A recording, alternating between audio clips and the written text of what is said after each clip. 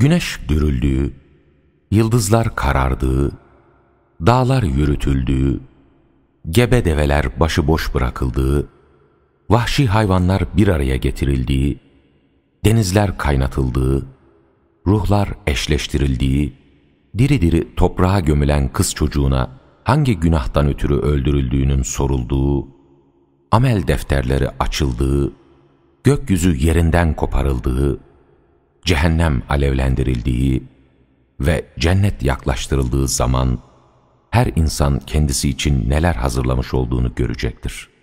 Hayır, gündüzleri kaybolup geceleri ortaya çıkan yıldızlara, kararmaya başladığında geceye ve ağarmaya başladığında sabaha yemin olsun ki, bu Kur'an, değerli, güçlü, arşın sahibi Allah katında itibarlı olan bir elçinin, Cebrail'in getirdiği sözdür.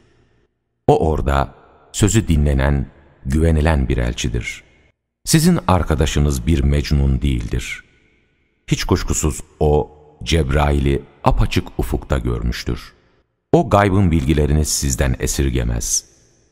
O Kur'an, kovulmuş olan şeytanın sözü değildir. Durum böyleyken siz nereye gidiyorsunuz?